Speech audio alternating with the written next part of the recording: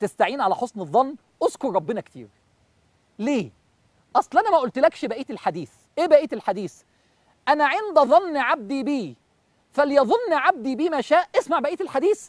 وأنا معه إذا ذكرني. كأن وأنا معه إذا ذكرني لو ذكرني هيحسن الظن أبقى معاه. تجيب حسن الظن بإيه؟ أول حاجة اذكر ربنا كتير. تاني حاجة اكتب الحديث وعلقه في أوضتك يا أخي.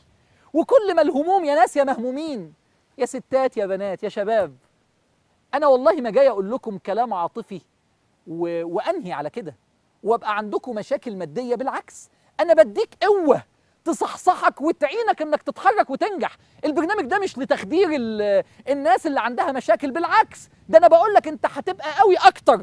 عقلك بدل ما هو مليان مبيدات وزي ما قلت لك تعبان هيبقى محلول صافي تفكر أحسن.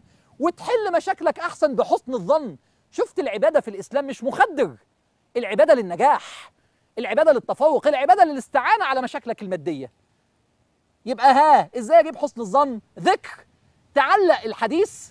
حاجة تالتة وأخيرة عايز تحسن الظن بالله؟ افتكر عمل معاك إيه في الماضي.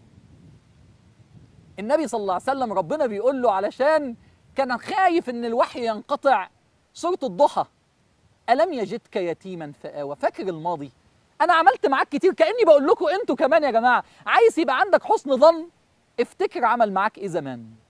طالما عمل معاك كده زمان ليه ما تكملش؟ كمل أنت كويس معاه وهو يكمل معاك.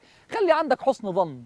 ألم يجدك يتيما فآوى ووجدك ضالا فهدى ووجدك عائلا فأغنى. اللي عمل معاك كده في الماضي كل ما تخاف من المستقبل افتكر حسن الظن. طب أكرمني إزاي قبل كده؟ يبقى يكمل إن شاء الله. فات من عمرك قد إيه؟ يكمل معاك الباقي. دون حسن الظن بالله. ها ظنك إيه بقى من النهارده؟ هيجيب دعائك؟ يلا ادعي. إن شاء الله يستجيب دعائك وخلي عندك ظن. وللصائم عند فطره دعوة لا ترد. ها ظنك بيه إيه؟ هيشغلك. بس خد خطوة. ظنك بيه إيه؟ هيجوزني إن شاء الله ويبعت لي شاب كويس ويسعدني. ظنك بيه إيه؟ آه هنجح إن شاء الله وهحج السنة دي. حسن الظن بالله أول حاجة لا للقلق.